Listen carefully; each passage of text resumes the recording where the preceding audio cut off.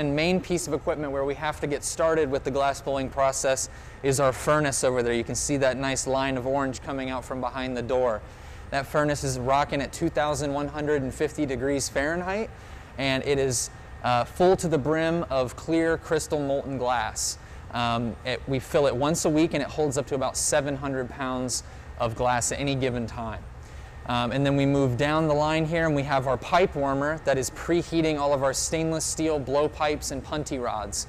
And um, those tools are very, very important for the glass blowing process because obviously that's what we need in order to pull the glass out of the furnace. Um, and those are being preheated to about 900 degrees at the head of the pipe um, in order to allow the molten glass to adhere to it. And then we move down to our final piece of equipment. We have two on right now, but these are our reheating chambers. And these temperature and maintain our piece throughout the process. So with that being said, we can go ahead and get started.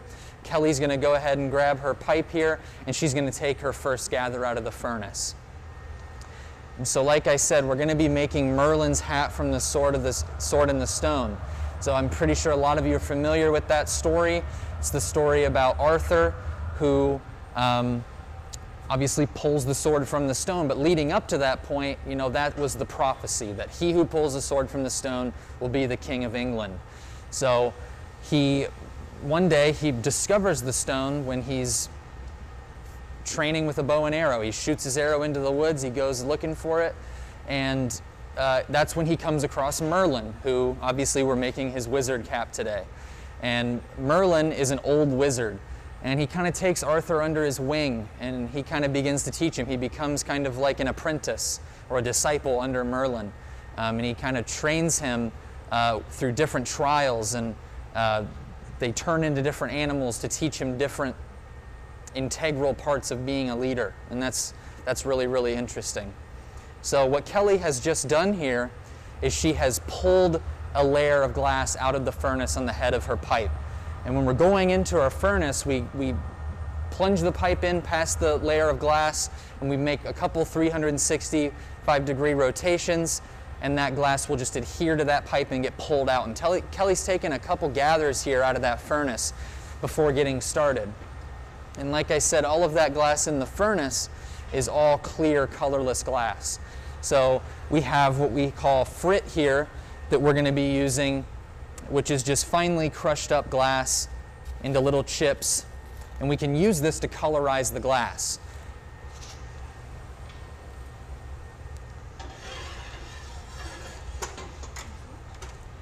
So now that Kelly has all of that material that she needs for her first bit of, uh, of making in this process, she's using a tool that we call a block.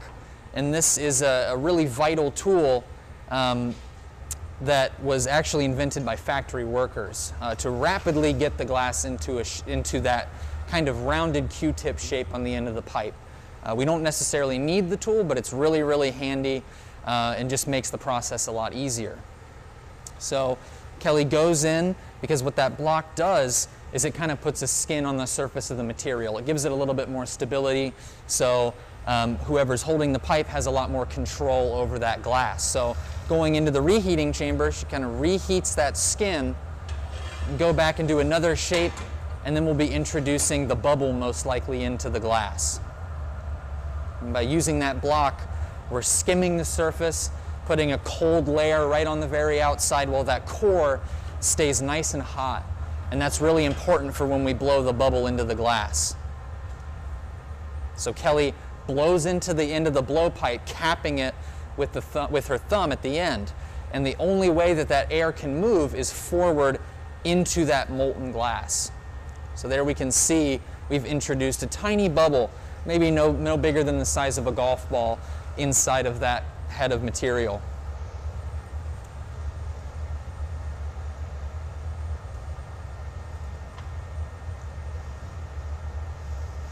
So now that we have our bubble introduced, we now have a hollow form. So now we can begin layering color onto the surface. And when we're applying frit to the glass, it has to be a nice and even temperature um, because it's actually that molten glass that's heating up that frit enough to allow it to stick to the surface. If we were going to be colorizing this with, say, um, a piece of color bar or a solid rod of glass, we would need to preheat that to about 950 degrees in order for it to adhere to that pipe. Very similar to how we need to preheat the heads of our blowpipes. But the frit is really handy because the pieces are so small and they can heat up so quickly that just the heat from that furnace can allow them to stick to the surface. We do have a question. Yeah, what's our question? So we have a guest that's asked, what colors are you using today? What colors are we using? So Merlin's cap is traditionally seen in, in media and popular culture is blue, and we have a nice royal blue frit. So it's kind of like a nice light able to pass through it, or we can't visibly see through that glass. So that's kind of the difference. When we're working in a more sculptural way, when we're trying to recreate something, um, unless it is transparent, we like to stick to a nice opaque color, and opaque blue is personally one of my favorite colors. So we're going to take a couple layers of that frit, but it's really, really hard to tell that true color once we get that material molten. Um, it really doesn't show its true color until it is completely cooled down after the annealing cycle when the piece is completed, but we'll go over that a little bit later. So Kelly's going in here and um, just continuing to layer that glass on. That's one of the um, one of the few downsides of using frit is that that frit, the chunks are very, you know, they're small chunks and they create a more speckled appearance. So we have to do a couple layers in order to create that full colorization of the material.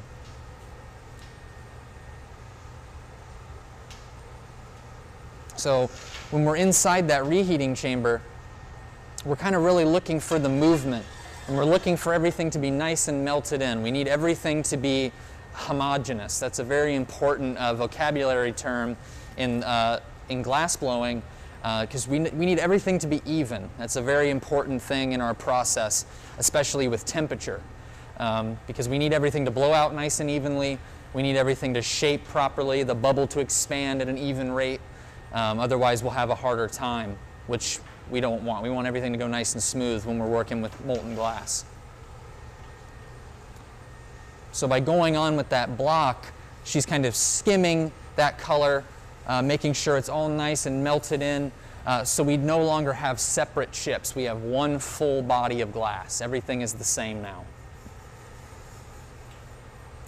And while Kelly has been uh, applying the color to the, to the uh, hat part portion, Sandy here has been pulling yellow stringers. And stringers are just very, very thin strings of glass that we can actually, excuse me, use to draw on the surface of the, of the cap.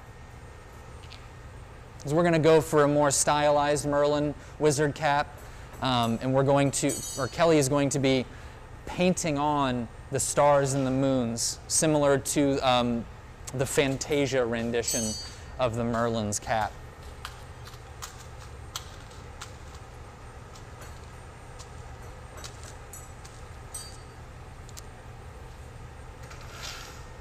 And this process of applying the color and getting all of the preparatory work done usually is the longest part of the process. Um, getting everything set up before we do any exponential blowing or anything uh, regarding the shaping, uh, everything has to be set up prior to that.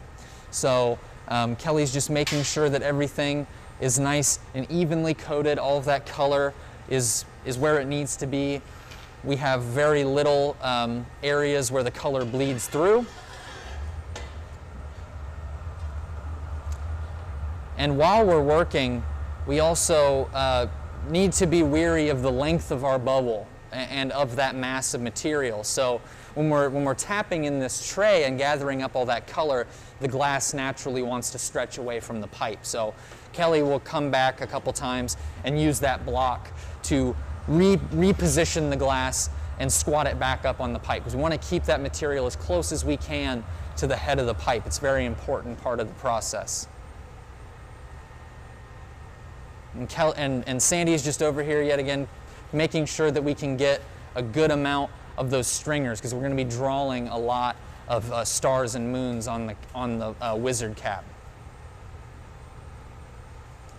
And it's actually a really, really cool process of pulling stringers. It does exactly what the name implies. We're taking a molten mass of material, um, coloring it, and stretching it out. Maybe Sandy could do, do it here for the camera so that way everybody can get a kind of a better view of what he's doing. Um, it's a really, really cool process, kind of watching the materiality of the glass in a molten state. Majority of that blue color, Sandy's going to be finishing up those stringers. Kelly is now beginning to get this into a nice and even shape. We have our color layered nicely on there. Uh, with frit, it's kind of difficult to get rid of all of the clear spots and little windows that are going to remain in it, but that just kind of gives it a nice, cool look. Kind of reminds us that this piece is going to be made of glass.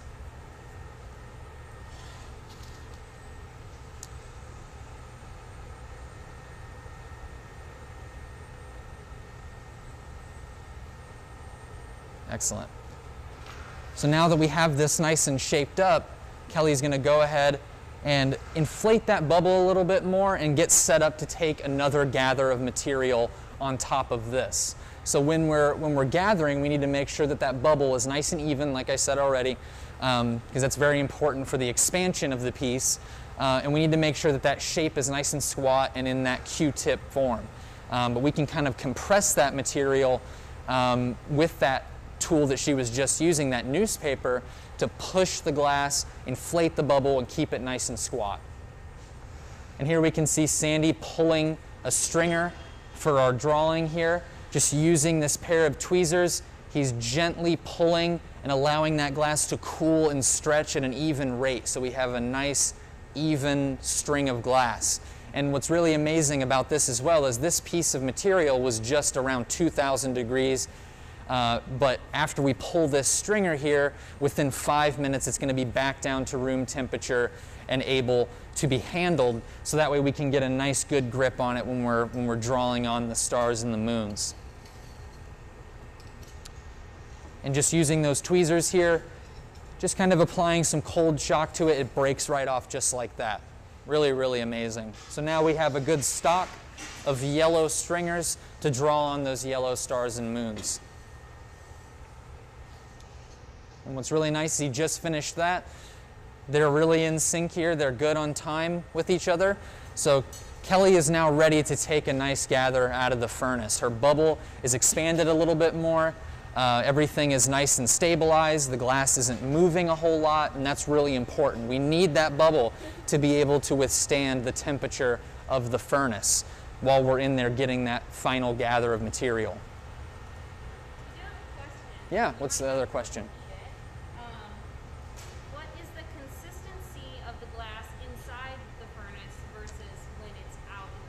Okay, that's a great question. So the question was, what is the consistency of the glass when it's in the furnace versus when it comes out? So when the glass is in that furnace, in that nice atmosphere of a constant 2150, it's a similar viscosity to room temperature honey. And you can see right here how that molten material kind of cools off. And this is what we call a strip gather. So that's a really, really good indicator of that viscosity of the material. Um, it's, it's not quite a liquid and it's not quite a solid. It's what we call a non-Newtonian fluid, meaning it is in both, it is in both a solid state and a liquid state. Really fascinating. It's one of the very few uh, elements uh, that can be in that state of matter, kind of in between both.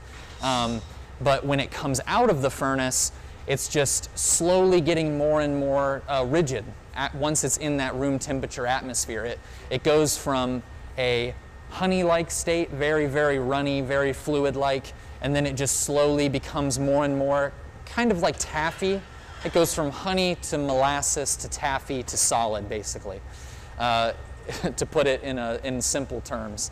Um, but we're, when, we, when we come out, we need to go into that reheating chamber uh, within 30 seconds or so before the glass becomes too rigid to manipulate. So um, it's, it's very quick in that change uh, in temperature from going from that liquid-like state to that solid state. So now that we've taken our final gather, Kelly has blocked up that new fresh layer of glass because um, it doesn't really have any structure. Again, because it's in that honey-like state, it's kind of flowing around that mass underneath. So where were we in the story of the sword and the stone? So Arthur has been teaching, uh, or Merlin has been teaching Arthur uh, all of the different trials, what it takes. Um, they go through a lot of uh, different adventures together. And then the king, uh, at the time, he, uh, he proposes to um, have a tournament, a jousting tournament, to decide who's going to be the king. Um, and you know that's when that's when Arthur unknowingly pulls the sword from the stone, and that completes the prophecy. Uh, of he who pulls the sword from the stone will be the, the rightful king uh, of England. So now that we have that material uh, nice and heated up evenly, we're now beginning to inflate that bubble out a little bit more. We're beginning to do uh, the, the shaping of the hat, which is, you know, that iconic conical form. So Kelly has a really handy tool. Uh, she has a blow hose um, because normally the glass blowing process with Sandy here, he would be the one that would be blowing into the end of the blowpipe and introducing that air into the pipe. It makes it a little bit easier for Kelly to not have to worry about both blowing and shaping. Um, but Due to current circumstances, we have a blow hose, which is also a really, really handy tool because it allows you to do a majority of this process on your own, um, which we like to think of glass blowing as a team sport here. Obviously, we have Sandy here to provide assistance uh, for some of the other things that would be much more difficult for Kelly to do on her own. But the blowing and shaping, that's a really nice thing to be able to do by yourself. You know exactly how much air pressure you need because you're the one giving it. So we come here with the blow hose, and this tool that she has here, like I said before, is simply just a couple sheets of folded up newspaper. Um, and it works in the similar way to the blocking tool in that it is soaked in water, and that water uh, absorbed in there evaporates when it comes into contact with the molten glass, and it creates a layer of steam. And that's preventing the paper from burning and igniting, and it's also cooling down the glass. Um, we can see our, the bubble is slowly beginning to inflate. We need to kind of do this a little bit slowly because a conical form is a notoriously difficult shape to achieve. Though it is a really simple shape uh, in terms of the geometry of it, uh, it is a difficult form uh, to achieve on the blowpipe, a nice and clean uh, cone form. So we're kind of gently blowing everything out, making sure that the area uh, of the bubble that's closest to the pipe, or what we call the shoulder, is nice and thin. We want to retain the majority of the thickness in that glass towards the tip of the bubble because the tip of that bubble is going to be the bottom of the wizard cap. So obviously we want something nice and bottom heavy so we don't have to worry about it tipping over or anything like that. So now um, Kelly's done a really good job of setting up for this conical shape. So you just saw she when she came back to the bench, she swung downward and she allowed gravity to do that stretching for her. And now she's applying what we call the constriction line or the jack line, neckline. It has a lot of different names, but that's what um, that tool that she's using, the jacks, is best for. And that's putting in a little bit of a line in that material, and that's going to be our point of constriction or our weak point, uh, where we'll actually be removing the piece from this pipe and transferring it a little bit later in the process. So she's squeezing down, rolling back and forth on the rails of the bench, and putting in that line nice and evenly and rounded. And now that we have that line introduced, that line is also going to be our point of symmetry. So that initial stretch that Kelly did kind of gave it a little bit of length from the beginning. So now when we go into the reheating chamber here and begin introducing that heat back into the material, we're going to be doing it behind that neckline, really stretching it out and getting that cone shape.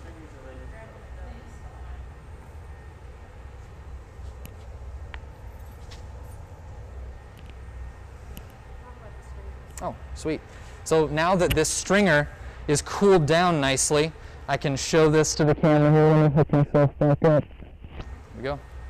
So this um, is that little yellow stringer that Sandy had just pulled a couple minutes ago. It's cooled down enough to touch. Um, and this is what we're going to be using and introducing a torch to this to heat this up and do those drawings on the surface of the glass. So that's, that's really cool. So we've got a good stockpile of these stringers over here ready to be used. So now Kelly has come back from her heat, and now she's beginning to really introduce uh, that air and really setting up that conical shape. Our bubble is expanding a lot. We've got our shape set up nicely. Again, that newspaper is really there to retain that thickness at the base of that cap.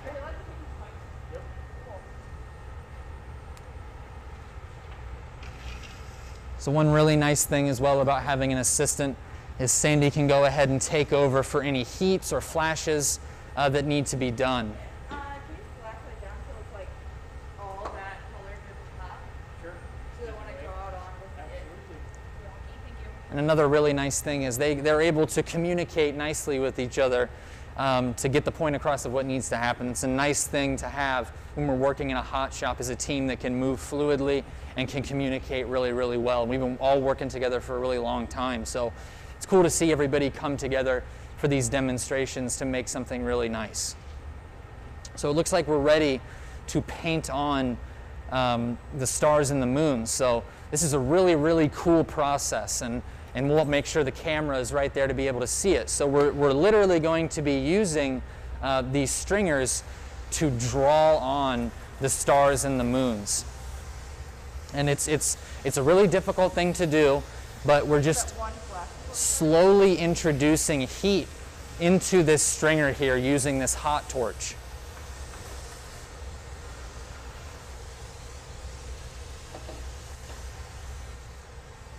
And I'm not sure if it's difficult to tell or not, but we can see that that stringer, the tip of it is really beginning to thicken up. And when we, when we draw with it, we stick it to the surface and then we begin to drag the stringer across the body of material.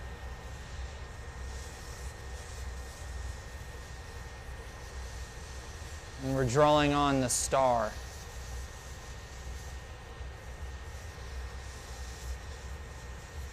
Super cool. Cane drawing is a really, really difficult process, but when it's executed right, it looks phenomenal. It looks great. So we've got our first star.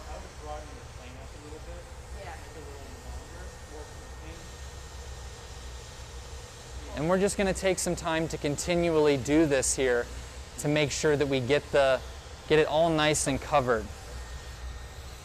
Had a guest notice the other two pairs of glasses on. Is there anything special about the other pair of glasses? Yes, that's a great question. So uh, the pair in the front is obviously Kelly's prescription that she needs, um, but the pair in the back is a pair of uh, didymium glasses or shades, and that's a very, very important um, piece of eyewear, protective eyewear, because of that torch. Um, that torch is an oxygen and propane torch, um, and it gets up to around 3,000 degrees. Um, and when it comes into contact with that glass, it puts off a very, very bright light um, that, after prolonged exposure, can do some damage to your eyes. And we can see that Sandy as well has a pair on too. Um, so, uh, myself, uh, I'm not looking directly at that flame while I'm in here uh, because it is very, very bright um, and very intense. So, she's got two pairs on just for her own protection. She's got just added safety uh, while we're in here. And yeah, those, those shades kind of dull that light down. And they make it a lot less bright and a lot less intense for your eyes to handle. That's a great question. I'm, I'm, I'm surprised that they caught that.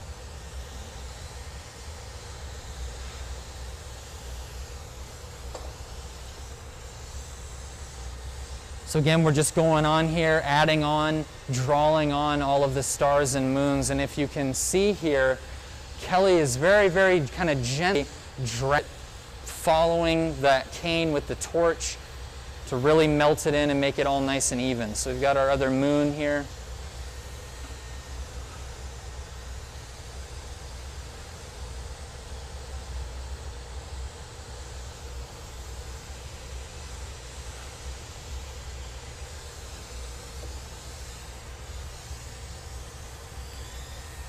We're gonna do a couple more here.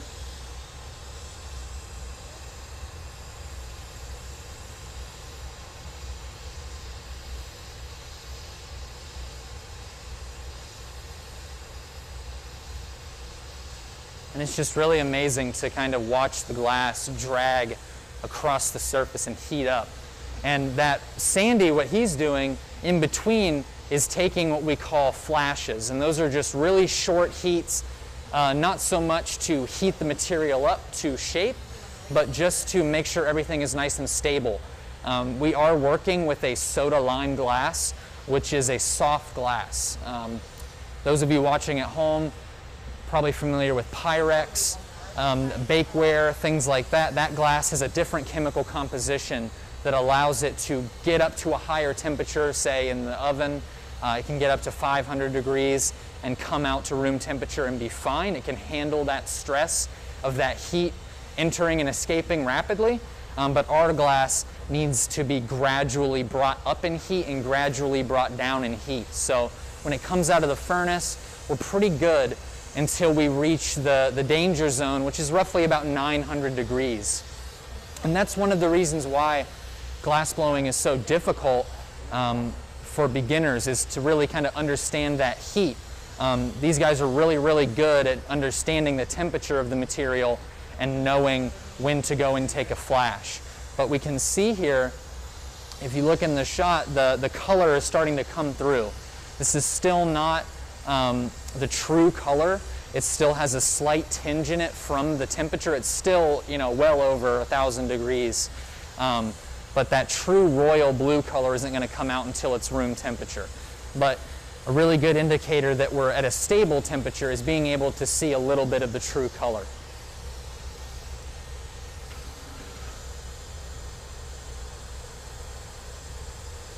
Another good reason to take that flash is to make sure that all of those uh, canes are nice and settled into the surface of our hat.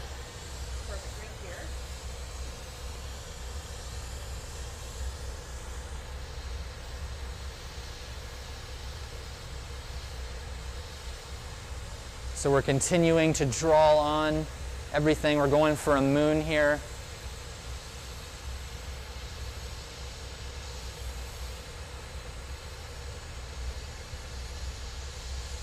And it's just, it's really amazing to see the material work in this way.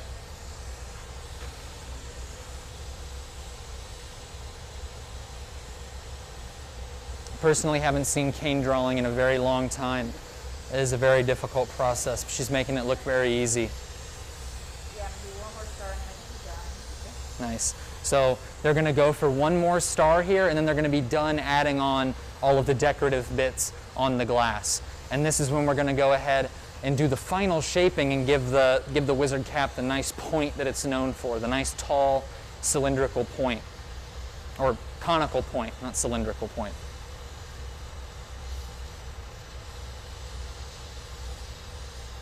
Excellent. So we've got the final decorative bit added on. Sandy's going to go in, take a nice flash, and then give it back to Kelly. Now that, now that all of the decorative bits are added on to the material, uh, Sandy can hand it back now that Kelly can be back at the bench um, to kind of figure out and decide what her next moves are going to be to finish this up.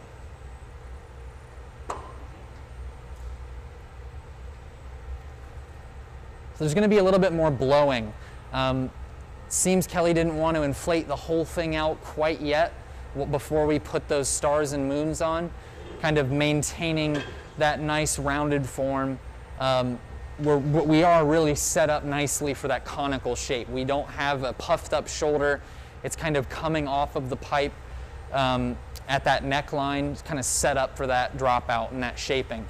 So we can see in the reheating chamber that Kelly is inside, um, but that neckline is right outside of the door. It's kind of difficult to see from the angle you guys are looking at, but that neckline is right outside of the door. Because um, as soon as you go past that first set of doors in the reheating chamber, you're in a, a, very contained atmosphere of temperature. So even being out the slightest, that material is getting a lot less temperature blasted directly onto it. So by kind of going in, shaping everything.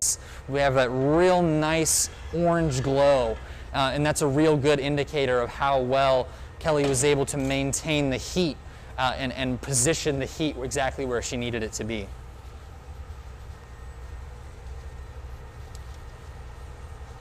So again, just using that newspaper to set up that shape as well, kind of going in, doing very light squeezing. The newspaper is a very, very handy tool because it allows us to conform and shape the glass using our hand.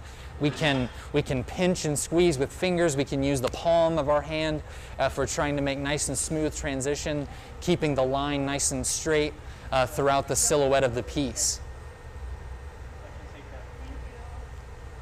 So it looks like we're done blowing. The blow hose has been taken off the pipe. I feel like the rest of the time we're going to be stretching uh, and doing some other shaping here.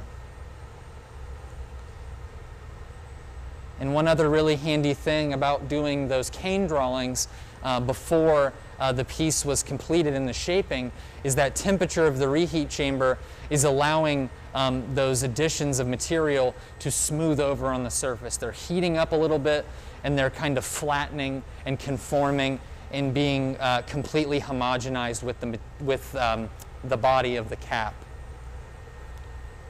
So this pendulum motion uh, is, is really cool. It's not just for show, it's an important part of the process in using gravity to stretch the glass out. So by hanging down and doing a very, very light swinging motion, we can add a lot of height or length to the piece. So we went from a more rounded ball into now into more of a, a, a shallow uh, cone.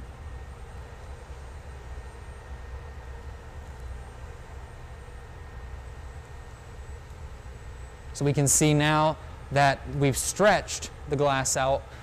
Um, the reheat chamber throughout the process, we're, we're working further and further, we're heating further and further outside of the reheat chamber because as we're stretching, we want to make sure that uh, the further we're working down, the more stable we want the glass to be, to keep it on center, to keep it nice and symmetrical.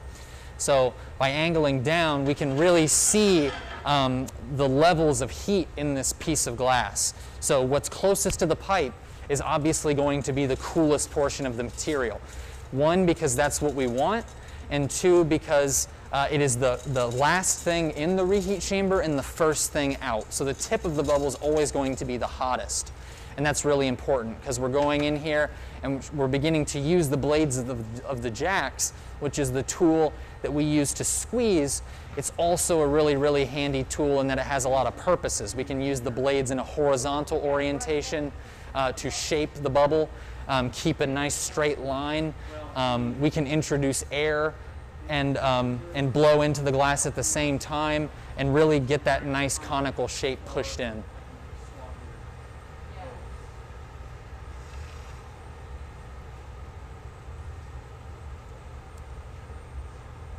And again, what's really, really handy about doing this conical form is that we can really, really stretch the glass out. We can get it nice and lengthened.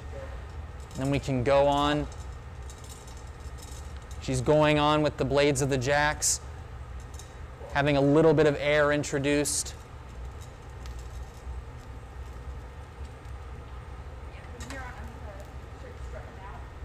Nice. So now that we have this blown out nicely, we need to give that cone a nice pointed tip. That's very that's important to the iconic Merlin uh, wizard cap. So everything now from here on out is going to be done manually. We're going to have to pull and stretch that out, or at least that's what, what Kelly is going to plan to do for her piece. So we can see in the reheat chamber, focusing the majority of that heat. See where the heat is directed.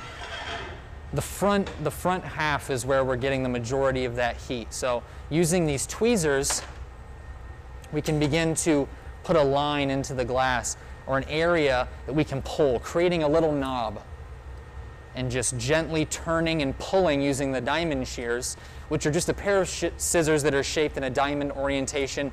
And those are really, really handy tool because they allow you to work in the round.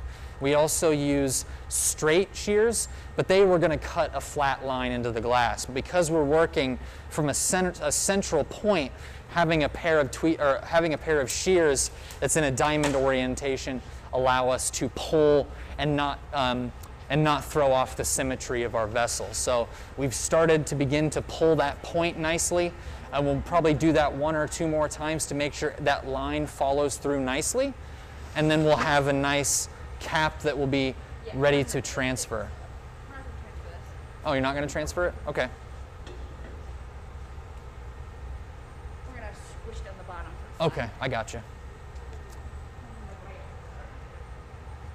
So we're going to boost the heat back up into this just a little bit more because we can see there is a tiny hump um, towards the top of the piece that we want to get rid of. We want that line to follow nicely all the way through. So this is really nice uh, to have Sandy here as well to have his assistance because he is able to turn the pipe while Kelly can be outside of the bench and have a much better view um, of what we're seeing here. And it looks like she, are you pu- pu- putting in folds and creases? Nice. So this is going to be really cool. Looks like she's going to fold the cap over itself. So this tag here, or taglio, is just a flat metal paddle. Um, when we're working with molten glass, we can also use uh, wood paddles, cherry wood paddles, which is a lot less abrasive to the glass. But this metal paddle is really nice because it's nice for putting in nice and solid creases that are going to be very visible. And because the cap is made of fabric, um, we want to kind of mimic those creases that would be present in a fabric cap.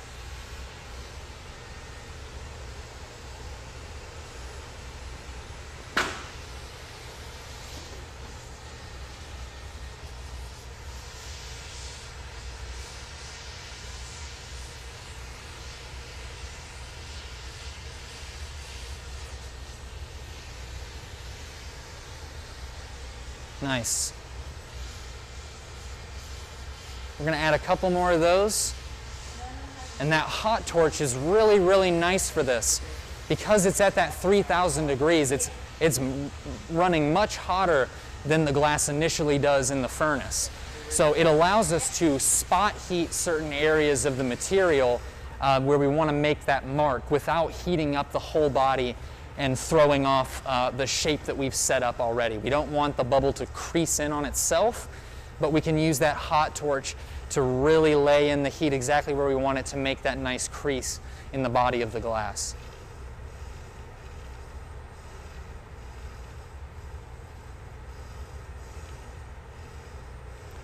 Sandy here is doing a bit of feathering, boosting a little bit of extra heat into that body of material.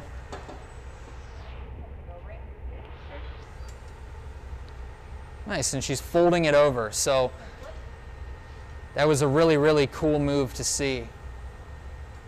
So those creases kind of acted as a way for the glass to naturally want to fold over itself.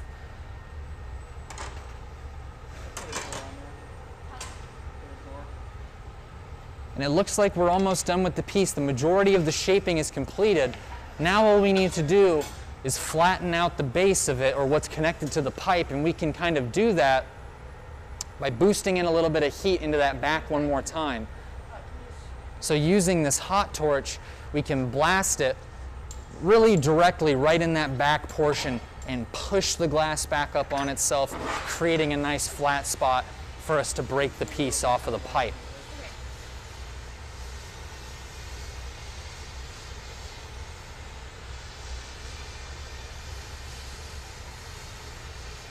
And also another really nice thing about this torch that Kelly is using is that we can dial the flame to different sizes and different intensities. So we have a much more broad flame here. The candles are a little bit longer where the majority of that really intense heat is coming from.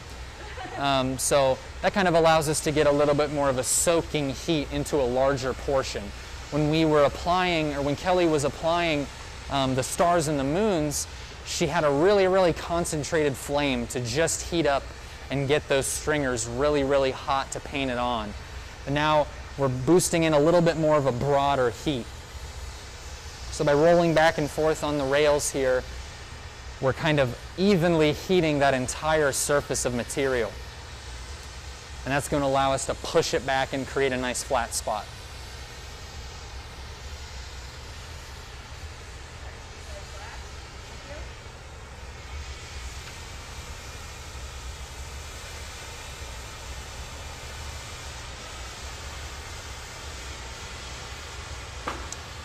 And another really, really cool thing about doing this and heating up that portion of the material, so Uh, glass has a really, really good heat memory. It knows what areas are hot and it will retain that heat in that one spot. So by boosting the heat uh, with this torch here and then going in to take a flash, that portion of the glass is going to get hotter than the rest of the body here.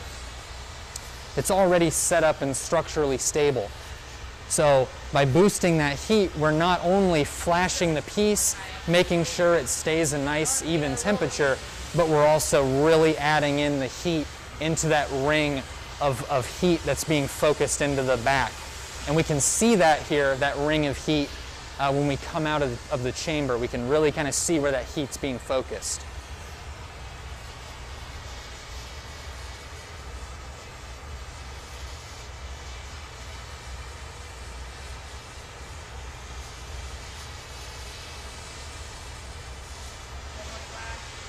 So Sandy's gonna take one more good flash. We can really see the heat being focused right on the end of that, uh, right towards the blowpipe.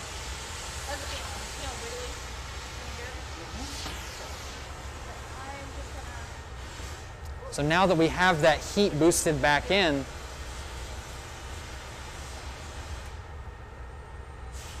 we're gonna hold it up and cap, and it's kind of slowly falling back on itself, and it's gonna slowly kind of create um, a flat spot for the piece to rest.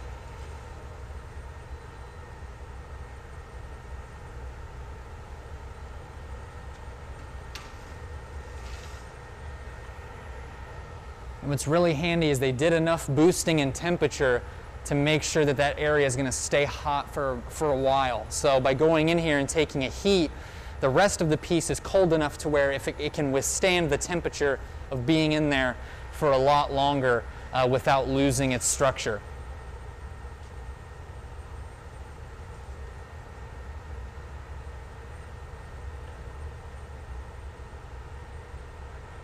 And we can kind of see here the motion that Kelly is doing. She's capping the end of the pipe with her thumb, and that's kind of creating a vacuum. It's not allowing any air to escape, so the piece isn't going to slump in on itself, and that bubble's not going to collapse. It's going to nice and evenly uh, kind of fall back on itself without losing any uh, air pressure on the inside. If she were to let go with the thumb, the air would be able to fall out of the piece in, in a sense, uh, and that bubble would kind of collapse down on itself.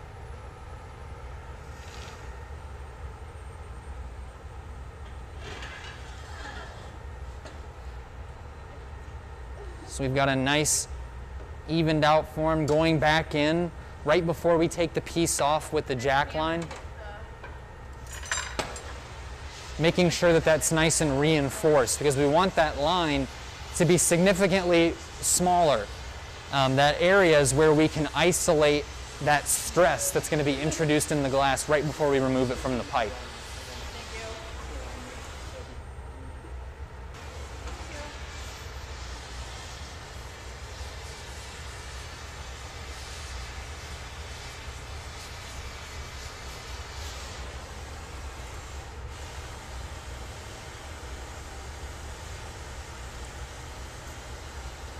By boosting that heat back in, we're making sure that that neckline is nice and reinforced, ready to come off the pipe.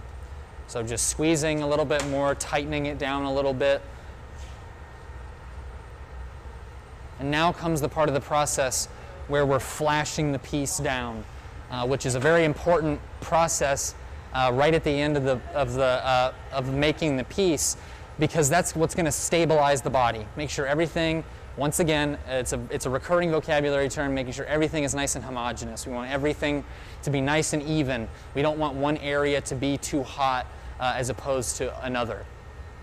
Otherwise, it's going to deform and slump when we go to load it away inside of our annealing oven.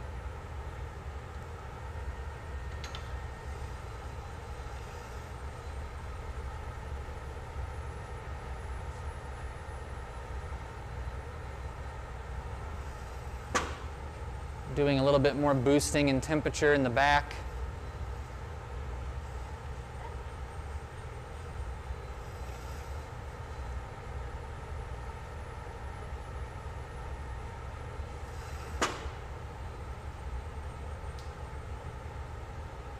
Excellent. Awesome. So we're making sure everything is nice and, and centered up where it needs to be. We can see what's really amazing is when the when different colors heat up, um, they're kind of always going to glow a nice orange when it's very very molten. But what's really really nice about certain blue colors is when they have a lot of heat in them, they turn this really really nice pink, this really pretty pink color. But that pink color is an indicator that it's still a little bit too hot to be removed from the pipe. We want to see a little bit more of that blue come back before we're ready for it to be removed from, uh, from the pipe here. So taking a couple flashes, allowing it to really cool down. Kelly's coming in and out of the reheat chamber, staying out for longer than being in, but that's to stabilize. Make sure everything is nice and even, and then we can go ahead and get ready. We're really looking for to make sure there's no movement in the body of glass in the bubble and to look at color. So we can still see a little bit of that pink, so that's an indicator that it's still just a little bit too hot. So we spend a little, little bit more time outside of the reheat chamber than we do um, on the inside of it.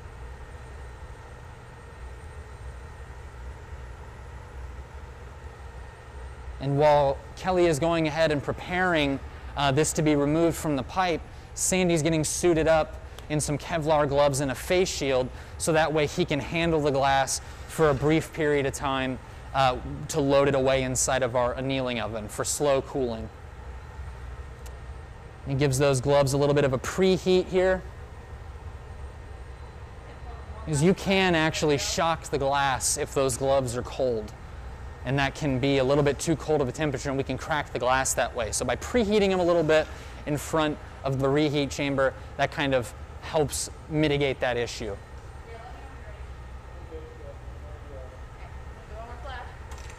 So they're going to go ahead and take the final flash here.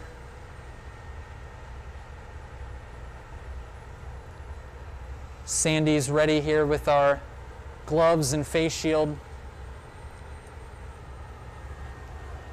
And we're just going to walk this on over. This is our knockoff station that's lined with fiber FiberFrax, which is a heat-resistant insulation that just adds, works as a nice padding uh, for the glass to rest on. So we're shocking this with a little bit of cold water uh, in a bucket, and we're scoring it with some cold tools, so just a pair of tweezers. And all it takes here is just a vibration on the pipe, and the piece breaks free. Sandy goes over to our annealing oven and rests the glass inside safely, setting it on its side. Excellent. And now we have a finished piece. So that's been loaded away inside of our annealing oven for safe cooling. So this piece of equipment here is very, very vital for the glass making process. Without this piece of equipment here, we would not be able to keep any of the pieces that we make. So um, this piece of equipment is holding at about 915 degrees, and that's a stable temperature for the glass to rest at. It's not cold enough for it to crack, and it's not hot enough to cause any deformation or slumping of the material. So we could leave it in there for a week and it would go unchanged. It would be perfectly fine. But at the end of the day, we're going to press a button on our control panel that's going to slowly ramp the temperature down from 915 it was pretty thin. It was a thin bubble. Uh, we didn't really need it to be very thick. So it can probably be done on a normal cycle about 16 hours or so 14, 16, 18 hours, something along those lines. Not a whole lot of time uh, in, in the scheme of annealing. Um, but some of our pieces here in the collection uh, at the Glass Pavilion are comprised of much thicker pieces of glass.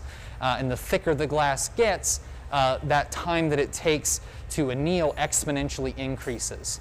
So um, if those of you who are familiar with the Glass Pavilion and have been here before, those of you who have not, we have our ancient gallery, and in the center of that gallery is a thick glass bench that was solid, casted into sand. And at its thickest point, it's about three foot thick. Uh, and that piece of glass annealed for 11 months to properly alleviate the stress built into the material. Uh, and, it is just amazing that glass has that kind of quality uh, where, you know, it has to relieve that pressure and that stress from it being heated over and over and over again throughout the process of making. But that wraps it up for our first demonstration for the day. Thank you all so much for tuning in. Definitely tune in for our uh, 2, 4, and 6 o'clock demonstrations. Um, and we thank you so much for watching.